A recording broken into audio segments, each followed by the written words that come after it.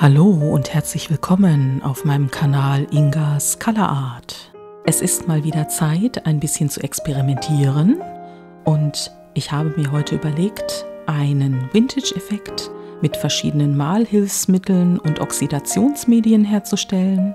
Und ich benutze auch eine Spachtelmasse, die endlich das tut, was sie tun soll. Sie krakeliert. Bei den angewandten Techniken braucht es sehr viel Zeit zwischen den einzelnen Arbeitsschritten. Die Leinwand muss immer wieder trocknen, die Spachtelmasse muss trocknen, um krakelieren zu können. Und ganz am Ende, wenn ich denn das Oxidationsmedium auftrage, ist es am besten, wenn man das Bild mindestens eine Nacht liegen lässt, weil sonst der Effekt nicht richtig rauskommt. Aber das sehen wir dann im Einzelnen. Ich habe heute die flüssigen Acrylfarben von Golden genommen und habe mir eine Mischung aus dem Türkis, dem Aquamarin und dem Paynes Grey hergestellt und auch zweifach grundiert, um dieses satte, tolle Blau im Hintergrund zu bekommen.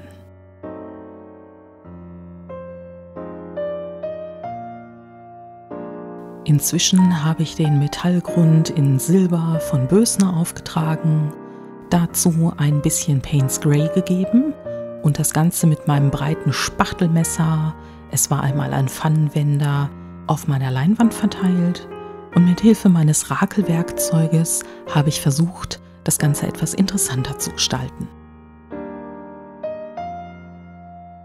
Ich wiederhole diesen Prozess ein paar Mal, um verschiedene Schichten und Dichten des Malgrundes zu erzeugen, denn alles, was ich jetzt auftrage, hat auch hinterher die Chance zu oxidieren.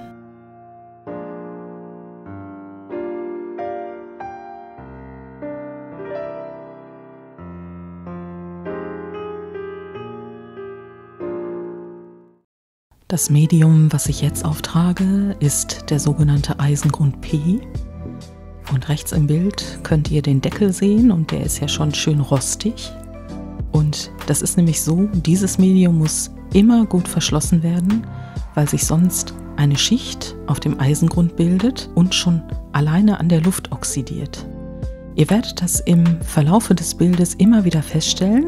Ich habe da noch nichts gemacht. Und trotzdem fängt dieses Medium an, sobald es Sauerstoff ausgesetzt ist, zu oxidieren. Achtet zwischendurch da mal drauf.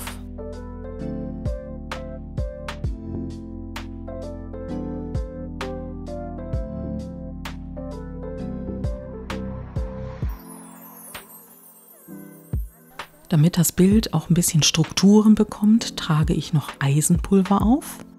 Das ist ähnlich zu sehen wie den Glitter, den ich sonst zwischendurch auftrage. Nur dieses Eisenpulver oxidiert auch mit einem Medium dann anschließend zu Rost. Das ist also auch immer ein sehr schöner Effekt, der dabei entsteht. Ich habe mir die Produkte alle selbst gekauft. Ich bin nicht gesponsert. Könnte man ja vielleicht meinen, weil ich jetzt hier die ganze Produktreihe von Bösner sozusagen ausprobiere. Aber das ist nicht so. Ich denke nur, wenn jemand das von euch nachmachen möchte, es gibt verschiedene andere Hersteller, die diese Art von Produkten anbieten. Ihr solltet euch dafür aber entscheiden, dass ihr von einem Hersteller die Produkte nehmt, weil sonst laufen die chemischen Prozesse nicht richtig ab. Und das wäre ja nicht so schön, wenn man dann anschließend da steht und es funktioniert nicht.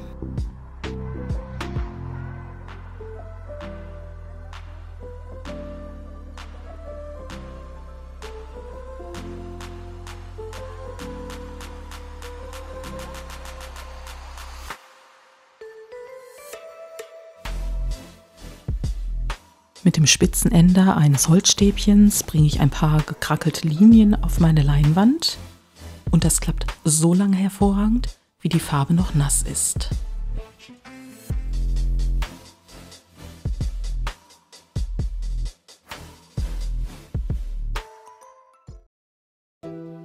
Jetzt kommt der Part in diesem Video, auf den ich am meisten gewartet habe. Und zwar ist das das Auftragen der Spachtelmasse. Diese Spachtelmasse wurde mir als Krakelierpaste verkauft und das letzte Mal hatte ja ein Krakelierlack nicht funktioniert. Das war so rund um Weihnachten und deshalb war ich jetzt ganz gespannt, was es denn mit dieser Spachtelmasse auf sich hat. Ich trage die zunächst einmal sehr vorsichtig auf meine Leinwand auf, überlege mir auch, wie die Bildkomposition aussehen kann und erhöhe dann anschließend immer wieder die Schichtdicken, weil sonst der Krakeliereffekt auch nicht eintreten kann. Es ist natürlich so, je dicker die ganze Schicht ist, desto länger braucht diese Masse auch, um durchtrocknen zu können. Anschließend trage ich auch hier wieder ein bisschen Eisenpulver auf in die noch nasse Spachtelmasse, denn ich habe vor, das Ganze hinterher auch hier mit dem Oxidationsmedium zu bestreichen.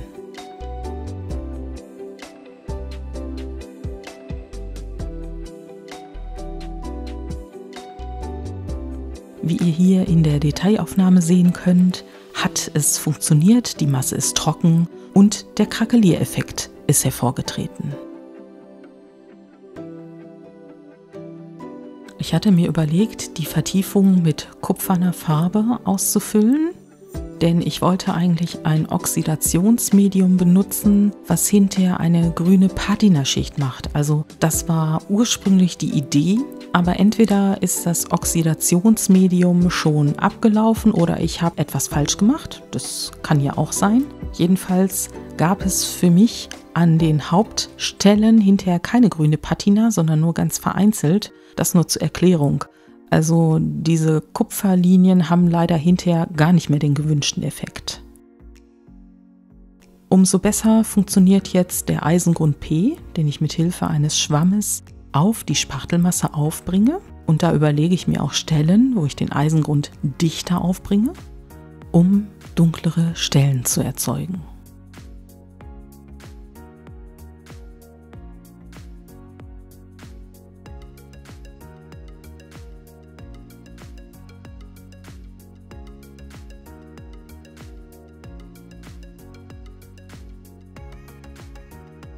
Jetzt trage ich den Malgrund in Kupfer auf und hier sollte eben anschließend der Effekt einsetzen, dass grünliche Patina entsteht. Ich hatte für meinen Vater rund um Weihnachten ein Bild gestaltet, was er dann von mir zu seinem Geburtstag bekommen hat. Und da hat es relativ gut funktioniert. Ich spoiler jetzt mal eine Runde auf diesem Bild leider überhaupt nicht. Da das Bild jetzt auch erstmal mindestens 60 bis 80 Minuten trocknen muss, gönnen wir uns eine kurze Kamerafahrt über die bisher gestaltete Leinwand und hier kann man sehen, wie die ganzen einzelnen verschiedenen Schichten aufgebaut worden sind. Vorhin hatte ich erwähnt, dass der Eisengrund P schon mal an der Luft oxidiert von ganz alleine. Und das sind die kleinen rostfarbenen Stellen, die sich hier schon gebildet haben. Und das macht in jedem Fall Lust darauf, gleich das Oxidationsmedium auftragen zu können. Es gibt extra Farbkarten, auf denen man sehen kann, wie welcher Malgrund oder der Eisengrund P mit welchem Oxidationsmittel zusammen reagiert. Es gibt meiner Ansicht nach sieben verschiedene von diesem Hersteller. Und ich hatte jetzt das Medium Nummer 6 gegriffen, weil angeblich Kupfer und dieses Medium 6 gemeinsam den Grünspan erzeugen. Aber hier habe ich die Rechnung ohne das Oxidationsmedium gemacht. Es wird hinterher einfach schön rostig. Das Bild sieht wunderbar aus, aber der ursprüngliche Effekt, weshalb ich ja auch diese kupferfarbenen Vertiefungen gemacht hatte, der tritt eben nicht hervor.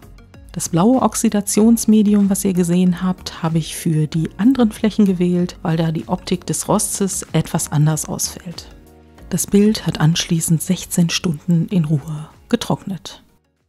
Ich habe euch das Bild wieder an einer Galerieschiene aufgehängt und mit einem anderen Licht beleuchtet, sodass die wunderbaren Rostpartien in ihren unterschiedlichen Rosteffekten gut zur Geltung kommen Leider kann man den Glitzereffekt, den das Silber auf diesem Bild hinterlassen hat, mit dem Kameraauge nicht erkennen, mit dem bloßen Auge schon. Und ich finde, es hat sich gelohnt. Zwischendurch sah das Bild ja eher so aus, als würde es sich überhaupt nicht lohnen.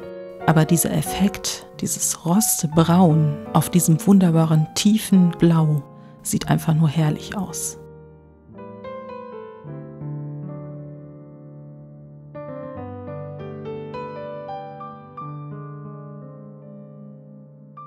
Ich danke dir fürs Zusehen, ich danke dir fürs Zuhören. Ich wünsche dir noch einen schönen Tag und wir sehen uns beim nächsten Mal.